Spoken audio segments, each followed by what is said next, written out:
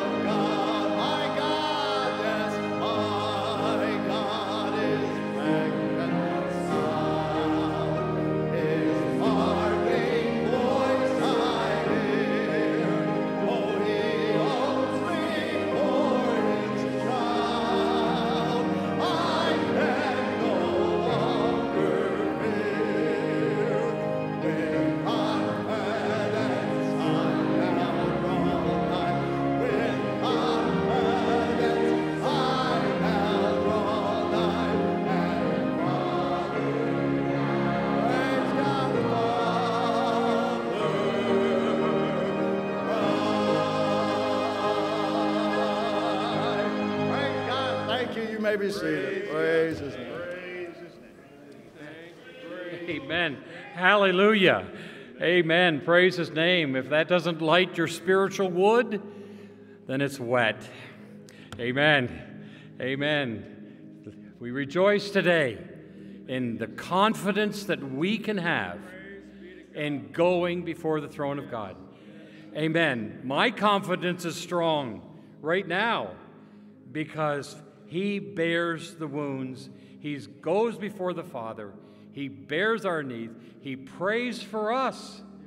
Praise his name. He intercedes right now on our behalf. Praise his name.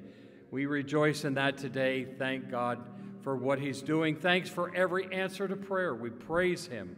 There have been answers to prayer just, just this past, multiple answers to prayer. We thank him for that. Let's go to him with a spirit of praise.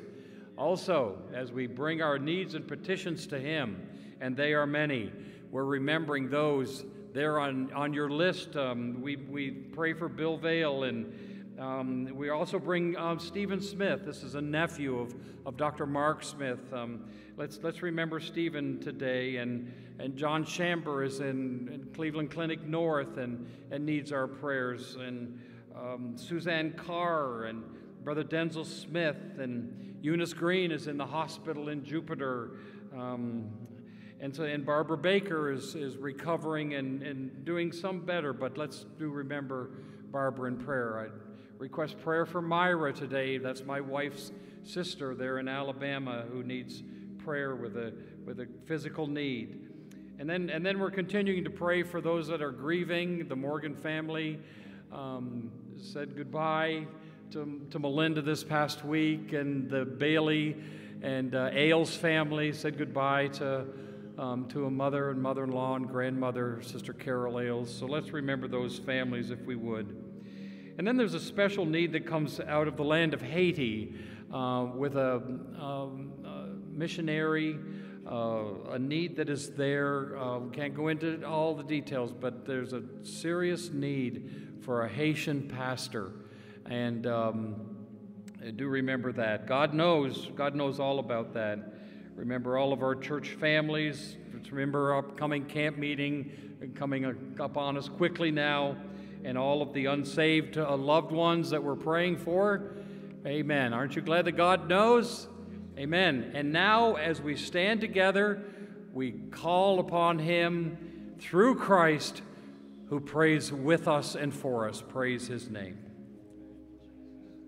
Amen. Would you lift your voices with us together this morning? Dear Heavenly Father, we continue in your presence. Dear Lord, thanking you that God, as we've gathered here to worship you, you have, you have met with us in this part of the service, in the singing, as we've, as we've testified through song, as we've worshiped through song. Lord, we're so glad that you hear prayers, you answer prayer, and because of your uh, five bleeding wounds that you bear, dear Lord, that, is, that was there for us, dear God, we can with confidence come into your presence knowing that, that we are your child, we're your children, and dear Lord, that you ask us to come, you, you invite us to come, you want us to come, and Lord, here we are pulling up to the the, table of God's goodness, our Father's goodness this morning. And, and dear Lord, we're enjoying your presence. And dear Lord, our hearts are being encouraged today, being just a simple reminder that, that you care and you are concerned and you are present and you are here today. Lord, with, with you on our side, with you in our heart and in our life, with you in this world, there's hope. And, and so, Lord, we just praise you for that very truth and reality today. Dear Lord, our prayer again is, is that through this service, as your presence is near, that, that as it is, as your presence moves among us and speaks to us, those that are online and, and sitting at home, unable to be in church today, uh, dear Lord, we ask that you would just minister there as well. May they sense you uh, in a special way. Dear Lord, your presence makes all the difference in the world, and, and we're thankful for the times that you just come and make yourself known to us. But, dear Lord, it's because of your presence and the reality of who you are that, that we not only bring our praise, but we bring our petitions to you. And, and Lord, you've heard the needs that Pastor Holden has shared already. Those that are grieving, dear Lord, be with the Morgan family, the Bailey and Ailes family. God, we ask that you would just continue to help them and encourage their hearts and comfort them today as only you can. Dear Lord, we also pray for, for the many different uh, physical needs that, uh, that have been mentioned. Lord, we're just uh, asking that you would help in ways that only you can. And uh, Lord, we, we, we that we're thankful for doctors and nurses and medical uh, facilities, but, but dear Lord, you have the power and you hold all power. And, and Lord, if you choose to use uh, the doctors in the medical field, we praise you for it. If, if you choose to step in and do the miraculous, we'll praise you for it. Dear Lord, if you choose to have the course going as it continues to go, and your strength and comfort is found, and help is given in the dark times of their life, we'll praise you still, dear Lord. You uh, know all things and do all things well, and we trust you as we commit these needs to you. Uh, dear Lord, we ask that you would be with the pastor there in Haiti. Dear Lord, we ask that you would undertake there and be with that need. And, and dear Lord, do what only you can do. We ask that you would help protect and, and dear Lord, encourage and strengthen and, and work things out in a miraculous way, we pray. Dear Lord, we ask that you would just continue to help us in the furtherance of this service as we come, dear Lord, now to, to worship in our giving. Dear Lord, we ask that you would bless both gift and giver. Dear Lord, we ask you would use the offertory that is played to continue to point us to you. And Lord, our, our just a reminder, our dependency is on you today. We're trusting you.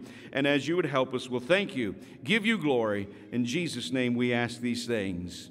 Amen. God bless you as you give.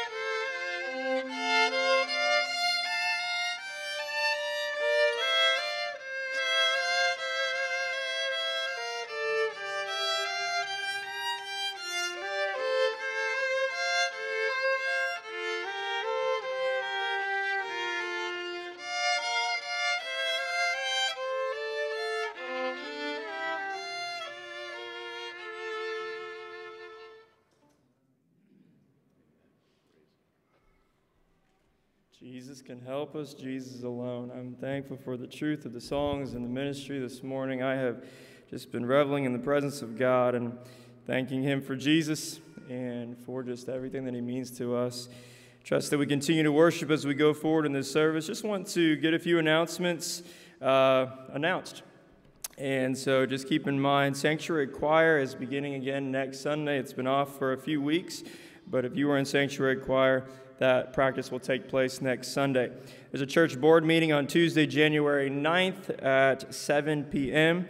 We're also looking forward to the traveling IHC that will be coming to Florida and Hobe Sound Bible Church. There will be a, an IHC speaker here on Wednesday, and then the main service here at Hobe Sound Bible Church for the IHC on Sunday evening. Keep that in mind.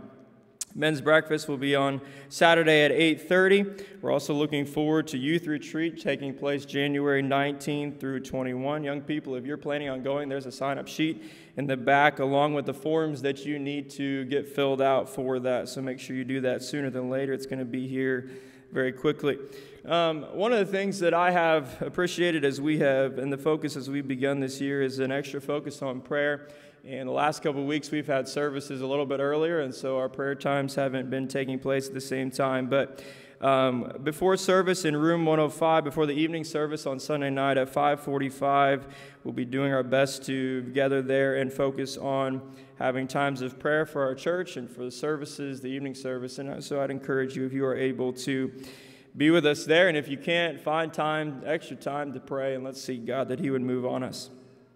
As we go into our time of fellowship, we want to mention a few visitors. I don't know that I'm going to get everybody for sure, but we want you to know that you are welcome and we're thankful that you're here. We have a group um, called the Sowers, and so we want you to know that we're grateful. They come just about yearly and do a lot around our campus to help, and so we want you to know that we're glad and thankful that you're here and thankful for your involvement in our community. Uh, Reverend Nate Becker, it's good to see you back there. Good to have you visiting. Uh, Reverend and Mrs. Don Nichols, I saw them here coming in this morning. Dr. Mark Smith and family, it's good to have good to have you here this morning. Uh, Jimmy Cohn, good to have you. The Motovila family is, is visiting as well. It's good to have you all. Megan Hallenbeck visiting the, the Ellisons. Uh, Dr. and Mrs. Harry Plank, it's good to have, have you all here as well. Joe Tillis and, and his daughter are here, and uh, also Michael Gallus. I hope I got that last name correct. And last but not least, it's always good to have our students coming back to, to college, and always a, a pleasure to see them here. And they are involved in worship and ministry even this morning. And so we're grateful that you are back at Hobe Sound Bible College. All right, at this time, I'm going to invite you to stand and reach across the aisles, and let's have our time of fellowship, welcoming each one here and worshiping together.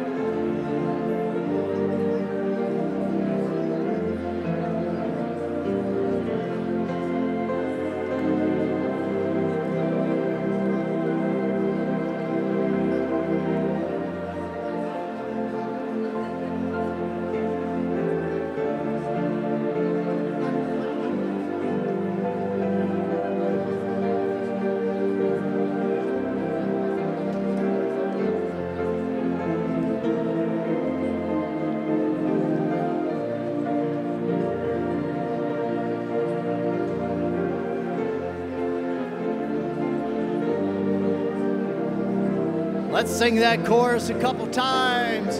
All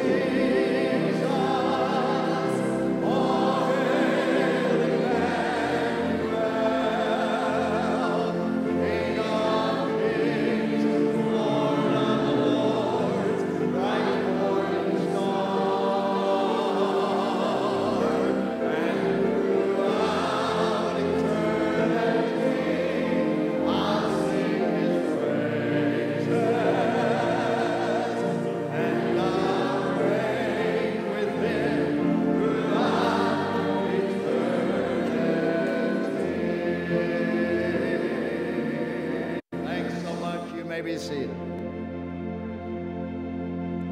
Amen. What a day that is going to be. Uh, we're going to just take a moment here just for, for a second, and uh, I, I probably will get killed before the service is over. But Mark Baker, you're standing there in the back. Could you and Gloria come forward, please? Oh, yeah. Oh, yeah. We need some ushers to bring him forward.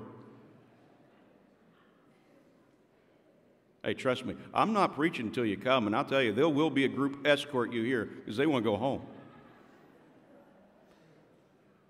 All right, they're moving. He's moving. All right. And as they're coming this direction, we do also want to say it's good to have uh, David Darnell and his wife. They're now residents of Hobe Sound, and they're here this morning. Good to see you all. And uh, you, you flying solo? Oh, yeah, I understand. He's making his way. We'll, we'll just watch him as he comes. Hmm.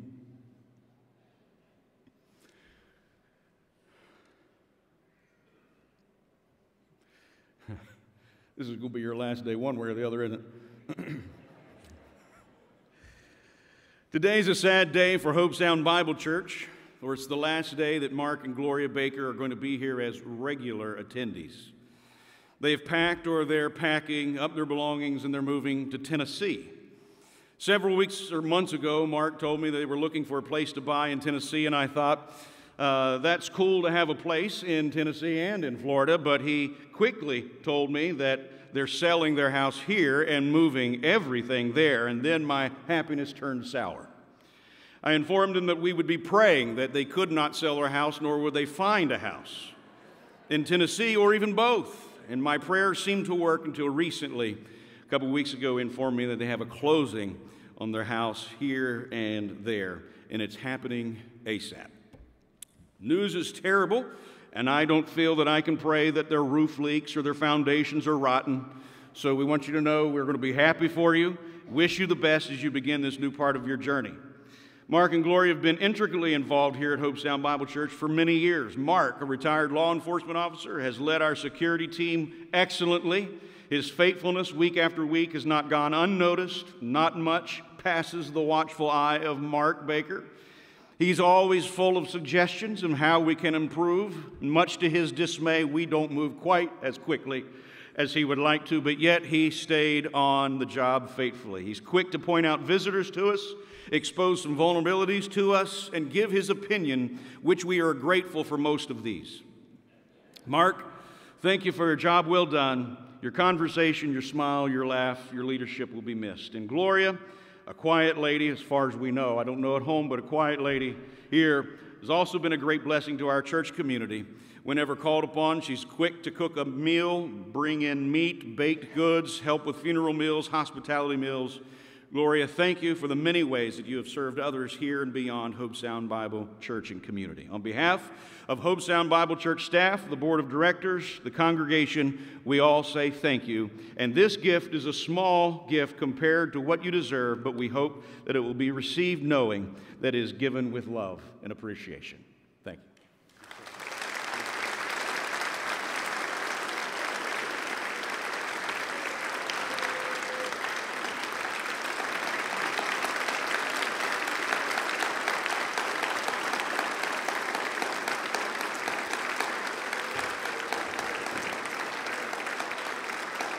We all love Mark and Gloria, and we hope that they have a wonderful, wonderful chapter in their life there in Tennessee. But for those thinking that the watchful eye of Mark Baker is going to be gone and now's the time to pull whatever it is you want to pull, understand there are those in the wings waiting. We will not mention their names, so you will know. Not know. All right. Good to have the Ryders. They're going to minister in song. Lord bless them.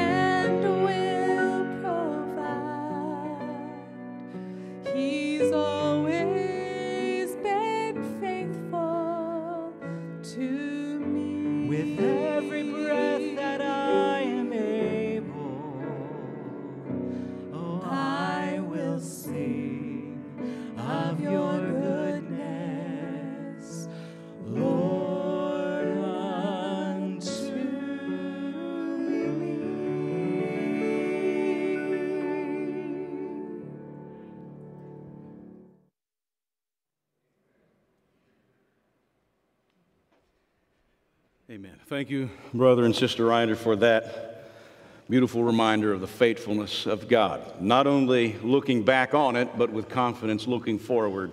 He is faithful. Continually praise his name. We say it yearly, but it's hard to believe that we're now saying 2024. Many remember the day when the communists were coming and they were going to overtake everything and everyone. The end was fastly approaching, and then there was 1988, and then there was Y2K. Dates have been set, dates have passed, and here we are, because of God's goodness and because of God's tarrying, saying, Welcome to 2024. We kind of can say these things with humor, a tinge of it at least, but uh, let us not be fooled into thinking that this year, 2024, is a given, or 2030, or we'll be here in 2050. The scripture tells us in Matthew 24 that, that time does have an end. The Son of Man is coming in an hour and a time that, that we do not expect, and therefore we ought to be sober, be vigilant for the time of his appearing. Uh, we do not know, and when he's coming back. So, as we face this new year, my, my admonition for us as we begin this message was, is, is if we're not right, that we get right. Because we do not know when time will be no more. And if we are right, with God's help, let's stay right. Let's live right and look forward to that beautiful, beautiful day when Jesus Christ will come again. But as we face this new year, this is a time when many people make lists of many things, things they want to improve over the, the next 12 months. They've, they've already begun making their list and buying and purchasing and signing up and registering. And, and some of these, these lists will be completed before the week's end. Some will make it a month, some might make it two. Very rarely will one make it the full 12 months. Some want to be more organized, and so they've already purchased planners, downloaded apps, they've started writing daily schedules that's going to make this a reality. Others want to lose X amount of weight, and so they've already uh, paid their subscription to the gym. They've sworn off all sweets and sugars, and they've already been to Sam's purchasing a fresh case of lettuce. Others have decided that the year, this is the year they're going to slow down. They've promised their family this will be the year we go on a family vacation. Suppers will be eaten together. Family activities will be priority. All of these things are great, and there are wonderful times, these are wonderful times of self examination. They're always needed. What better time than to get these things than a start of a new year? These goals and resolutions aim to make the new year the best year yet. But while busy thinking about all of these things, we must not overlook the most crucial area in our life, and that is the spiritual aspect of life. I firmly believe that if we will make the spiritual areas of our life a primary focus, everything else begins to fall into place in a significant improvement, adequately to impact our life and others for good. While it would be great for some of us to be more organized, more focused, make, make healthier habits, slow down and enjoy the blessings of life more, what we need, what our families need, our community needs, our world needs, more importantly, most importantly, is for every single one of us to purpose in our heart that in 2024 we're going to give utmost attention to our spiritual lives. 2024 can be a banner year like no other because we make God our number one focus in all things. You might ask, how in the world could we accomplish this? Well, I think that, that we're going to try to answer this question broadly with three simple statements, with a few subpoints along the way. And I pray that, that, that as you would maybe think of these statements, jot them down, that you would leave this place with the broad understanding, earnestly pray about them, and allow God to work these things out in our lives personally, maybe in a more with a more narrow brush that would help 2024 be the best year we've ever had. Well, if we're going to have a banner year, one of the first things that we're going to have to ask ourselves is simply this in a broad stroke, what does God want from us? We can't reach for something if we don't know what it is that God wants from us.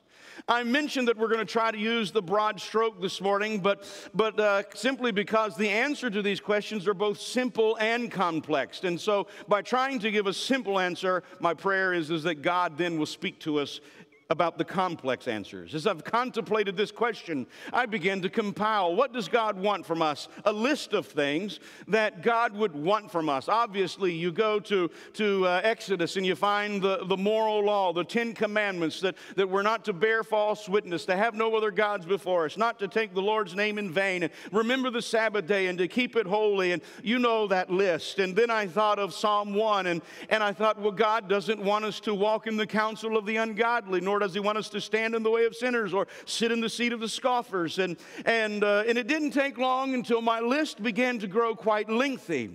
But as I began to contemplate the list that was before me, I felt that all of these things could be wrapped up really in one command, and it is found in both the Old Testament and the New Testament. It's in Leviticus 19, 2, that, that, uh, that we're hearing the, the prophet to say, Speak to all the congregation of the people of Israel and say to them, You shall be holy, for I, the Lord your God, am holy. And then in 1 Peter chapter 1 verses 15 and 16. But just as he who called you is holy, so be holy in all that you do, all manner of conversation, the way you live, the way you talk, the way that you act, the way that you respond, in everything you do, for it is written, be holy because I am holy. God has no greater desire than for His children, His greatest creation, to be a holy people. Who we are represents who our Father is. If we say that, that we are a people, or if we are a people who do not love, then the reality is God is not our Father. 1 John 4 8 says, Anyone who does not love does not know God. Why? Because God is love. Because of the fall, pure, holy love took a massive hit into the hearts and minds of humanity. And from the fallen hearts of man, one does find it uh, impossible uh, at times to love people who hurt and try to destroy us. But Jesus says, listen, we ought to love our enemies. We ought to love those who despitefully use us, those who say evil things against us. Humanly, it's impossible to do this, but pure, true love is possible when we know God the Father through Jesus Christ, his Son. We can know how to love. Why? Because he first loved us. When we were rebels, when we were unlovable, when we were self centered and selfish, God loved us. And so He's taught us how we can love. If we do not love, then God is not our Father. I mean, we could say this in a lot of different realms, but just with the broad stroke, remind us that God says every part of your life and through your living and, and love and, and, and listening and all of those things, I want you to be a holy people. Why? Because He is holy. If we want 2024 to be the best year ever in our personal lives, I encourage us, let's pray about this question What does God want from me? And prayerfully study with God's leadership how, God, would you help me to be holy? God wants us to be holy. But secondly, a question that we need to ask is Are there any areas in my life that do not exemplify God's holiness? It is one thing to understand what God wants from us as His children to be, but another thing to altogether to see some of those areas in our lives that God is wanting us to do better in. One of the most challenging things for us is to see our own faults, our own shortcomings, our own needs. It's challenging, but this challenge is nothing new because it's dealt with in both the Old Testament and the New Testament. King David in the Old Testament, he's fallen into sin. He's had an affair with his good friend Uriah's wife. One sin has led to another. David is in deep trouble, sin. But God, God who is faithful, sends to him prophet Nathan to talk with David. And in their conversation, Nathan tells the story of a rich man who took a, a poor man's only sheep and killed it, even though he had many flocks of his own. And David, as he heard this, a former shepherd, was so angry by this story that, that he thought for sure it was true. And here's how he responded As surely as the Lord lives, that man who did this must die. He must pay for the lamb four times over because he did such a thing and had no pity. But it was in that moment that Nathan pointed out to David, the, uh, and he uttered these chilling words You, David, are the man. What happened? David was furious with the shepherd in the story, but yet in his own life, the same thing had taken place. In the New Testament, Jesus was speaking to his followers when he painted a picture, kind of a humorous picture, if you will, of a man with a log in his eye, and, and he's there trying to remove a speck of dirt from someone else's. It's a clear message to his followers then and today. Too often we can be so busy setting everyone else straight that we fail to see the very needs in our own life. A great example, I believe, was referenced Wednesday evening as Dr. Jones shared the story of a woman when caught in the very act of adultery was brought to Jesus. She undoubtedly had sinned, and, and what they were promoting indeed was, was true and right and what should happen. But they were oblivious to their own life, and Jesus exposed it in his statement Listen, he who is without sin among you, let him throw the first stone. Let him who's never needed forgiveness, let him who's perfect in their life, let him throw the first stone. Whether you like this answer or not, if we get quiet before God and will humble ourselves before Him in His presence by asking Him, Lord, are there things in my life that are hindering me from being the holy man and the holy woman that you want me to be? I promise you this one thing God will be faithful to speak to our lives to help us along the way that we might improve and be more like Christ.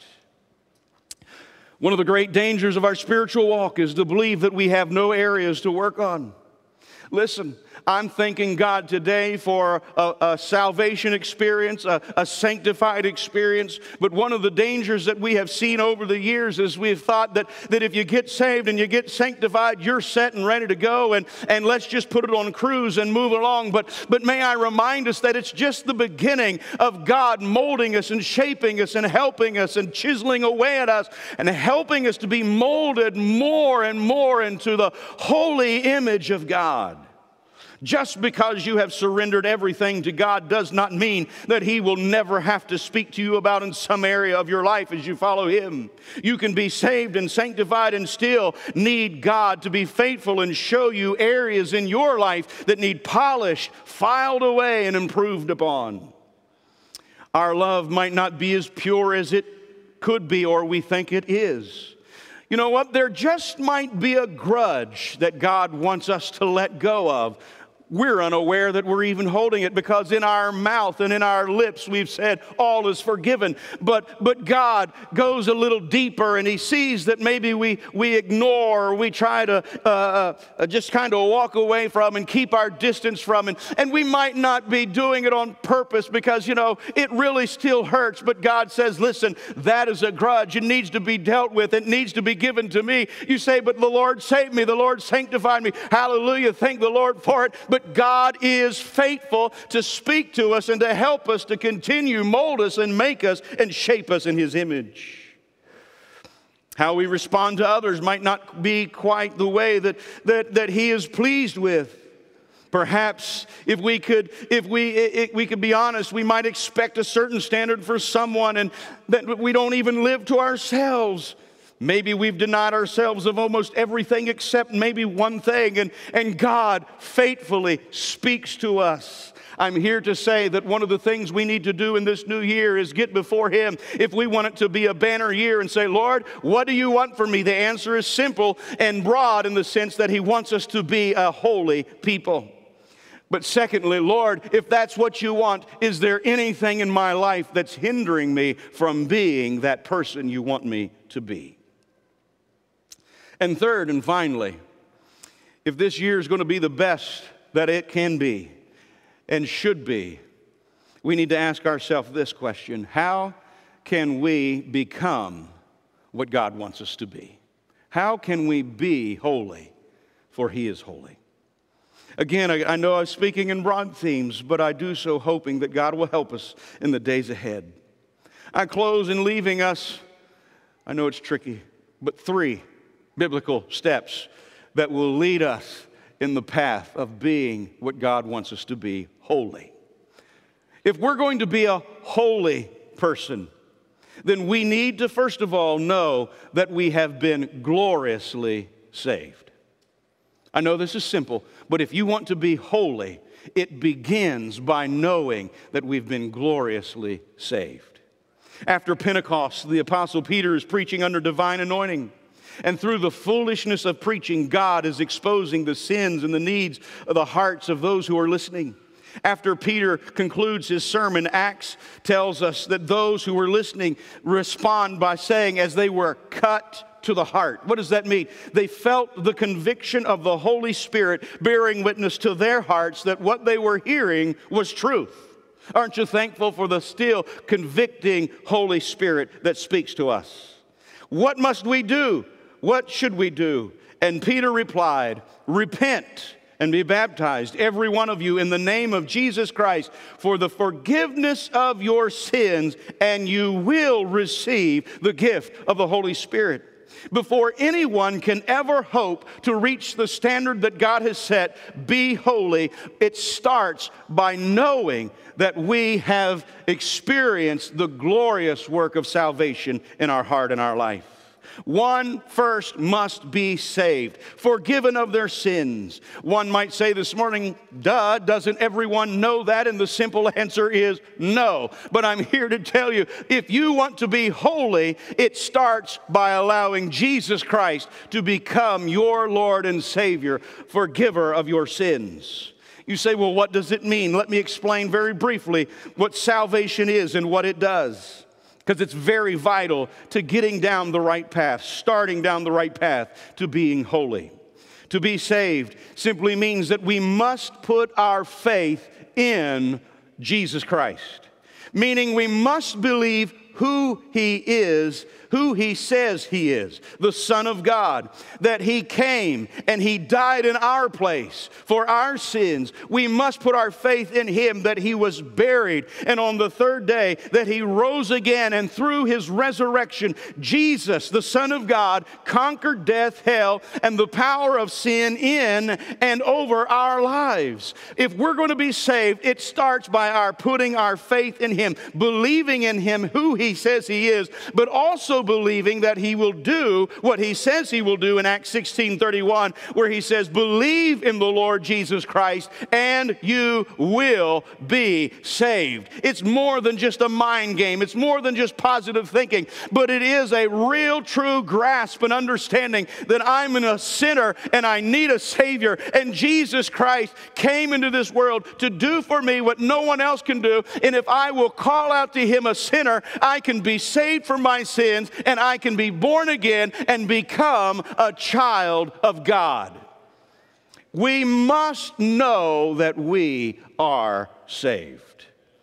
What happens when we are saved? Corinthians tells us that we become new creatures in Christ Jesus. New creatures. We're a completely different person. When we put our faith in Jesus Christ and we confess our sins, it says that His Spirit then bears witness with our spirit that we've been forgiven and we're a child of God. And when that happens, friends, the God of peace imparts His peace into our heart and our life. And that peace is something that is so beautiful. You might weep, you might cry, you might shout, you might run, you might sit there like a bump on a log, but something deep inside of you called peace is registering, knowing that God, through Jesus Christ, has forgiven you of your sins. And we become new creatures. What does that mean? Well, it further says, Old things have passed away, and all things become new.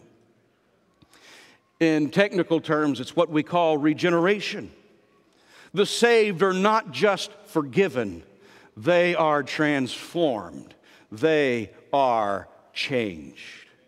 We've passed from death to life, from darkness. Now we live in light. A changed heart will sing and rejoice with the songwriter. I no longer walk the ways of sinfulness, but I daily tread the paths of righteousness. What simply meaning this changed heart within me says that I'm going to return my back. I'm going to, I'm going to walk away from all of the sinful things that I know about, and I'm going to walk a new path. Why? Because my new heart says, I have a new master, a new Lord, a new Savior, and I love Him, and I want to serve Him, and I want to please Him. So I'm going to walk away from sin and walk straight forward with the grace of God, a changed, transformed person. Being saved means we no longer live in sin in our regenerate state. 1 John 3 6. I like to read several different versions in my Bible study, and I like the Amplified. It simply says this No one who abides in him, no one who is a child of God, who remains in fellowship with him, deliberately or knowingly or habitually practices sin. I want to flesh it out just simply because I believe this is so essential to making sure that we're on the right path towards being what God wants us to be, being holy. As a Christian, a new creature in Christ Jesus, we do not, uh, we do not intentionally, deliberately sin. Scripture teaches us that sin is to willfully violate the law of God, to choose to do something that we know we should not do, or refrain from doing something that we know we should do. There would be some who would debate and call mistakes and, and blunders sins, but I like the words of John Wesley that said, I believe there is no such perfection in this life as excludes the involuntary transgressions which I apprehend to be naturally consequence of the ignorance and mistakes inseparable, inseparable from morality. You may call such a transgression sin if you please, but I do not for the reasons mentioned above and, and, and, and partially in what he was writing. Being holy begins begins when we are saved and transformed and we repent and we quit sinning.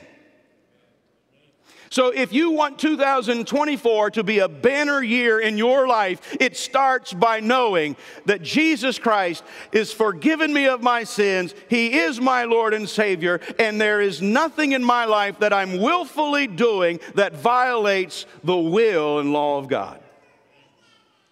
If we want to be holy, we must be saved.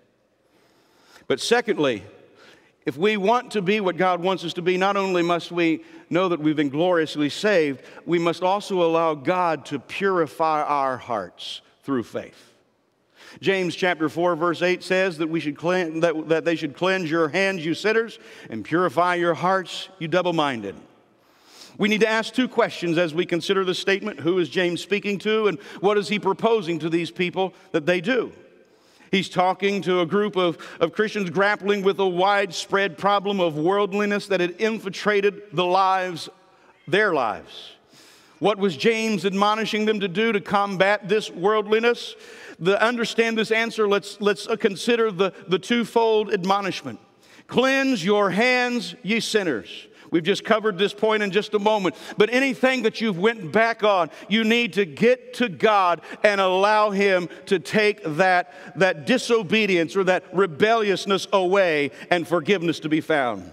I'm just here to remind us that when a person plays in the sandbox of this world, their hands will become sullied with sinful pursuits and moral compromises. These things must be dealt with through confession that forgiveness may be found. Cleanse your hands. But then he says, purify your hearts, you double minded. Here, James deals with the problem that was drawing the Christians back to the world, back to sinfulness. It was their double mindedness, their double minded ways that they continued to grasp tightly to the world while claiming to love and worship God. Friends, this problem is nothing new today. Isaiah dealt with it back in Isaiah 29 when it said, These people come near with me with their mouth and honor me with their lips, but their hearts are far from me. It's still true today. We can talk about God all day long with our voice and with our lips, but God is not interested in just lip service. He says, I want your heart.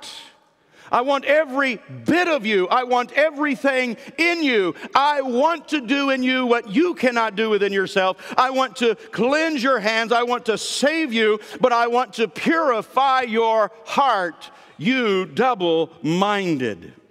Again, these are broad strokes that I'm using this morning. Don't have time to flesh it all out in detail, but I promise you one thing that in your heart, if you really want 2024 to be a banner year spiritually for you, begin to seek God. Lord, I want to know, beginning, that you truly are my Savior. And guess what? His Spirit will bear witness with you, and you can say, check. But he also says that I want to purify your hearts, you double minded. And you can say, Lord, is there a purification that still needs to be had? And if there is, guess what? God, who is faithful, will speak to you, will lead you, will guide you gently along the way, and you can find the purification of God's Holy Spirit in your life. This is crucial. It was King David who said, Who may ascend in the mountain of the Lord? Who may stand in his holy place? And it says, He who has clean hands and a pure heart. James saw that it was time for the people to tear down the walls of denial and to get honest with themselves before God. He encouraged them how to do this. Draw near to God, draw nigh to Him, and He will draw nigh to you. Draw nigh to Him with a genuine, repentant heart by experiencing that gut wrenching, godly sorrow. It says there in verses 9 through 11 let there be tears of, of godly sorrow for what you have done. Let the sorrow be deep of grief, and let there be sadness instead of laughter, gloom instead of joy. Humble yourselves before the Lord and He will lift you up in honor. Ladies and gentlemen, I'm here to say on the authority of God's word if we want to be what God wants us to be, it will not be because of picnics and celebrations. It will be because we let the laughter slip by and the gloom settle in to a place that we humble ourselves until He hears our prayer and makes the change in our life that He wants to do. Before we can embody Leviticus and 1 Peter, we must know that we've been gloriously saved and purified by faith. And in closing, we must also know that we are living a fully surrendered life to the Father's will. I'm glad that He can save us. I'm glad He can purify us. But, ladies and gentlemen, He can help us to live fully surrendered to his will. The Gospels speak about this quite frequently. Matthew 16, 24, and 25, Jesus tells his disciples, If anyone would come after me, let him deny himself, take up his cross, and follow me. For whoever would save his life will lose it, but whoever loses his life for my sake will find it. What is that? That is a, that is a picture of a life who's saying, Lord, not my will, but thy will. Lord, not what I want, but what you want. Matthew 7 21 says, Not everyone who says to me, Lord, Lord, is going to enter into the kingdom of heaven, but the one who does the will of my Father who is in heaven. Matthew 19, 29, and everyone who has left houses or brothers or sisters or fathers or mother or children or lands for my sake, surrendered to the leadership of God, will receive a hundredfold and will inherit eternal life. Matthew 6, 33, seek first the kingdom of God and his righteousness, and everything else will be added to you. Luke 14, 26. If any man comes to me and does not hate his own father and mother, his wife, his children, and brother and sisters, yes, even his own life, he cannot be my disciple. What is Jesus trying to get into the minds of his disciples and to us this morning? It is simply this that there is nothing, nothing that can take the place of where God's supposed to be. God does not want to be first in our life, He wants to be our life. He wants us to be fully surrendered to His will. These words are Jesus' words to His disciples of what it would mean and what it would look like to embody His desire for their lives. And I'm here to remind us this morning nothing has changed. If we're going to be holy as He wants us and calls us to be, we must die out to ourself, our ambitions, our plans, our wishes, our desires, our opinions.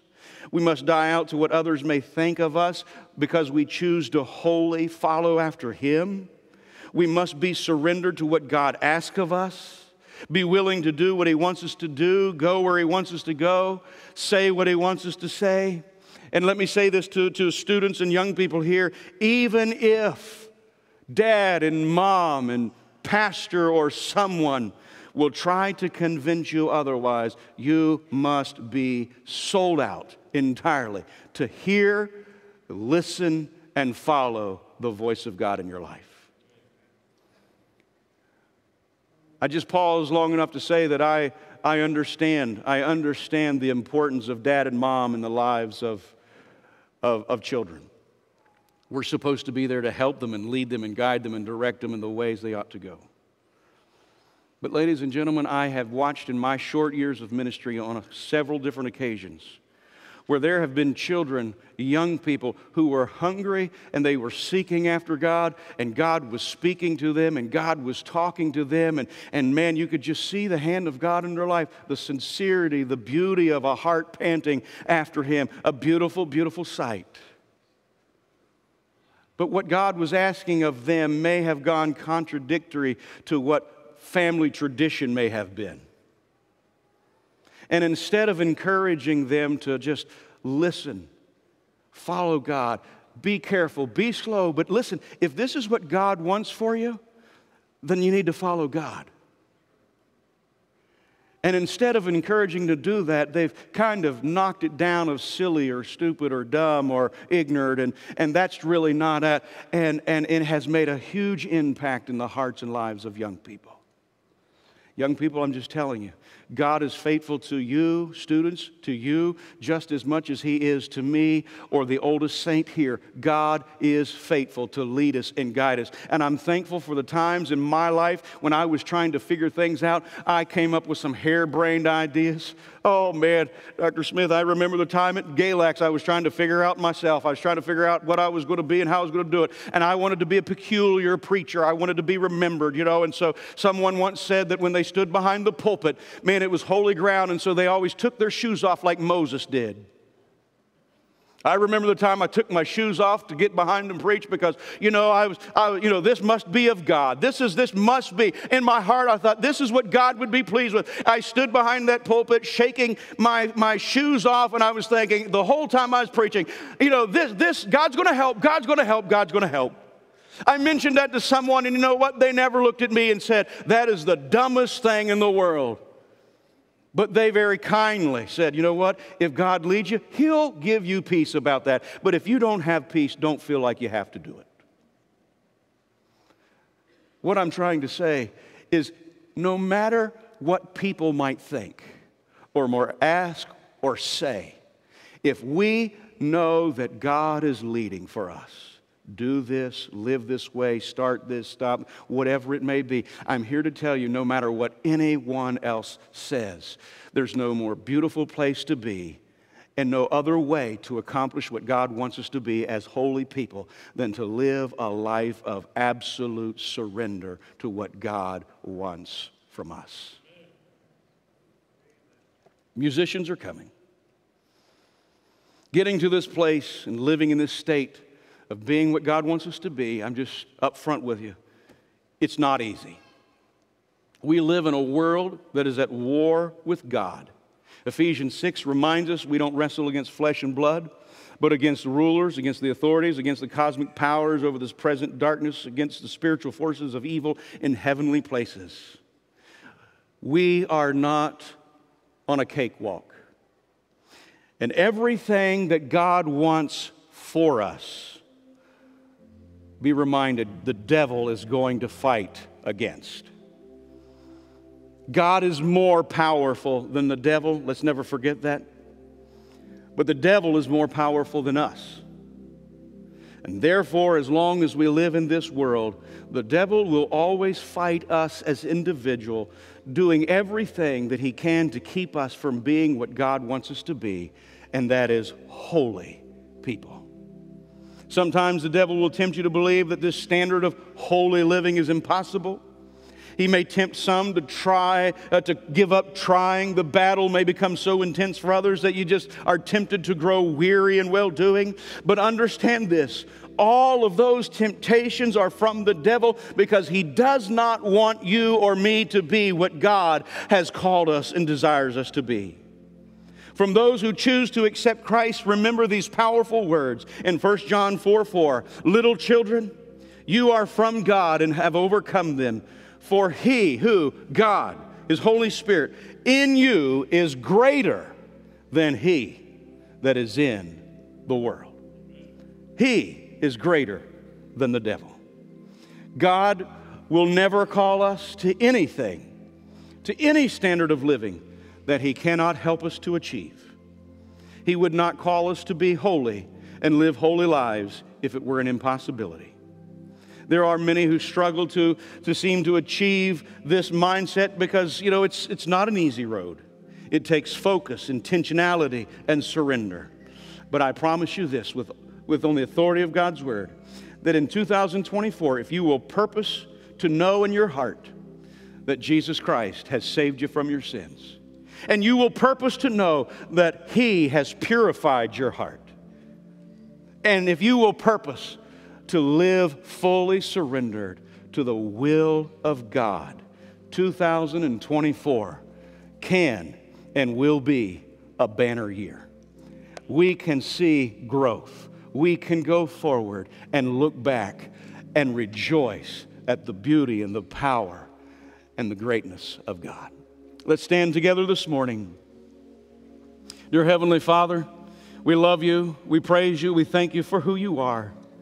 And Lord, our prayer is, as we've just tried to, to on this morning, just to share the simple plan of salvation and, and uh, the gospel, and Lord, just directions that point us in the way that would help us to be what you want us to be holy men and women, young people, children. Lord, we ask that you would then speak to our hearts in small ways and, and those quiet times, and Lord, those gentle ways, and, and helping us to see areas in our life perhaps you want to you want to do a work in us and, and make some improvement in us that, that lord that we would live the life that shows the beautiful picture of christ the best that it can lord go with us from this place speak to our hearts and help us in this upcoming year to know you better to know you more to draw closer to you in deeper ways and lord help us to have a banner year spiritually we ask it in jesus name Amen. God bless you.